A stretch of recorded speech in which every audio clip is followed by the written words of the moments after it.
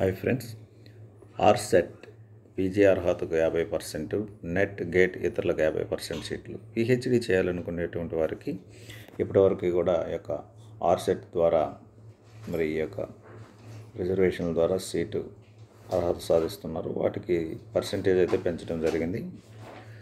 PhD ఉమ్మడి ప్రవేశ పరీక్షలో సీట్ల రిజర్వేషన్లు మార్పులు చేయనున్నారు. పీజీ అర్హతతో ఆర్సెట్ రాసిన వారికి యాభై పర్సెంట్ జాతీయ అర్హత పరీక్ష junior teachers fellowship GATE select teachers fellowship MPhil అభ్యర్థులకు యాభై శాతం సీట్లు కేటాయించనున్నారు. దీనికి సంబంధించిన ప్రతిపాదనలు ముఖ్యమంత్రి కార్యాలయంలో ఉన్నాయి.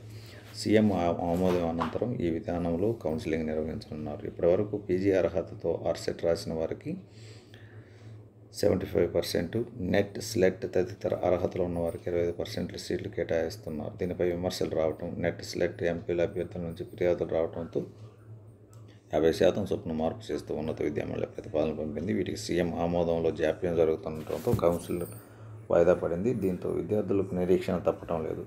ఇక నుంచి నెట్ స్లెట్ రాసేటువంటి వారికి ఇది ఒక పాజిటివ్ మంచి ప్లస్ అనే చెప్పవచ్చు ఫ్రెండ్స్.